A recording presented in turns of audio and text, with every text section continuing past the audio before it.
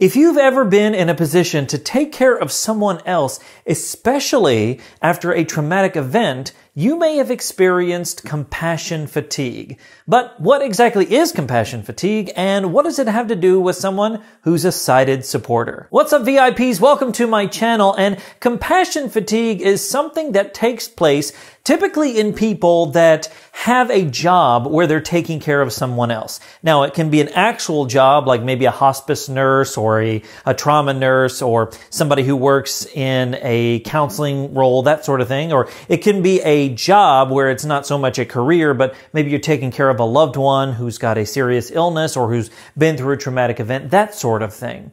And so whenever somebody experiences something and then there's somebody else to help take care of them, that person that is the helper can experience compassion fatigue. And we're talking about this because a lot of times sighted supporters who are helping out somebody who's recently lost their sight can experience something related to compassion fatigue.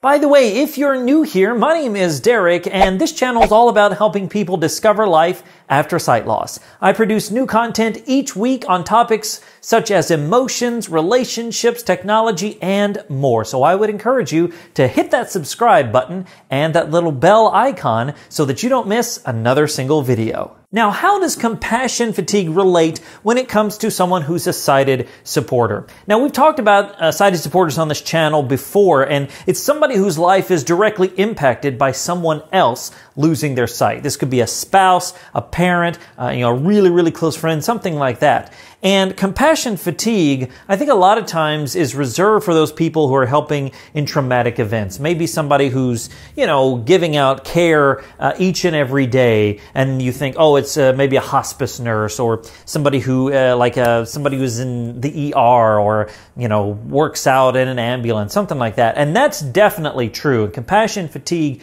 could definitely weigh on them, and it's not quite burnout all the way, but it can really, really cause some stress and anxiety if you're not careful.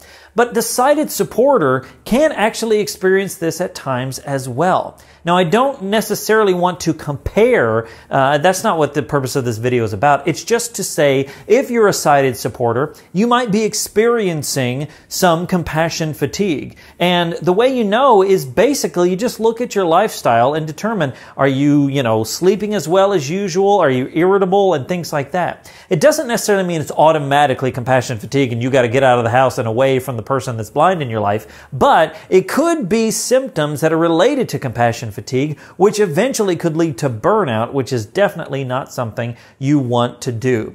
And so I just want to encourage you that if you're experiencing anything like this, my wife and I often talk about how sometimes you just need to take time for yourself. That means maybe leaving the house, going out with friends. Maybe it just means being on your own. Whatever it is that gives you energy, that, you know, sort of lifts you up and brings you back, that's what you need to do. Because life can really get centered around the visual impairment that the other person is experiencing. And look, trust me, I get it. The person is going through a lot and I understand and it makes sense. But you won't be any good or any help if you are experiencing fatigue constantly. It's going to weigh on you. It's going to harm your relationship. It's just not going to be good at all. So you've got to take time for yourself because compassion fatigue, you know, getting worn out and worn down is only going to cause problems in the long run. So I just want to encourage you today that if you're a sighted supporter and you're watching this and you're feeling a bit like, oh my gosh, it's only been six months and there's so much to do and